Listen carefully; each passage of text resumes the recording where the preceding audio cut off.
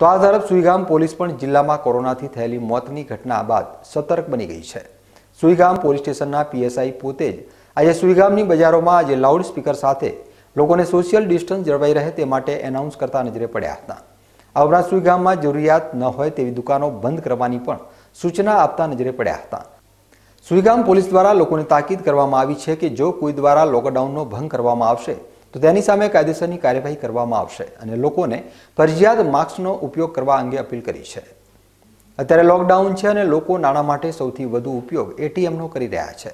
પરંતુ વાત કરીએ થરાદની, તો થરાદમાં એટીએમ સેન્ટર ઉપર સેનિટાઈઝનો અભાવ જોવા મળી રહ્યો છે. લોકો નાણાં ઉઠાવવા માટે જ્યારે એટીએમમાં પહોંચે છે ત્યારે ગ્રાહકો તો સોશિયલ ડિસ્ટન્સ જાળવે છે, પણ બેંક દ્વારા આવા એટીએમ સેન્ટરને સેનિટાઈઝ કરવામાં આવતા ન હોવાના લીધે કોરોનાનું સંક્રમણ ફેલાવવાની દહેશત ઊભી થઈ છે. લોકો એટીએમ સેન્ટરને સેનિટાઈઝ કરવાની માંગ કરી રહ્યા છે.